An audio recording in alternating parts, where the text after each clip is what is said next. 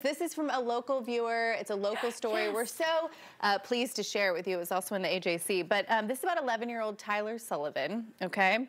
And Tyler, I'm sure a lot of moms and dads can relate to this. Uh, Tyler spent a lot of V-Bucks on Fortnite on his parents' credit card. Oh, no. Mm -hmm.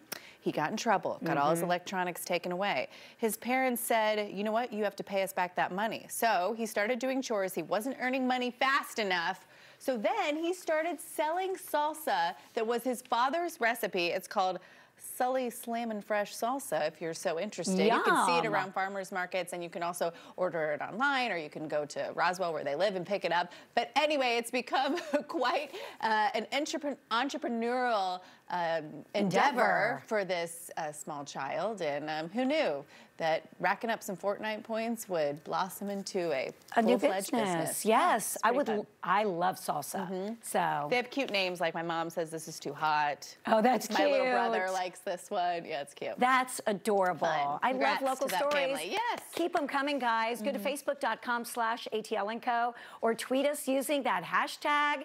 It's, it's all good.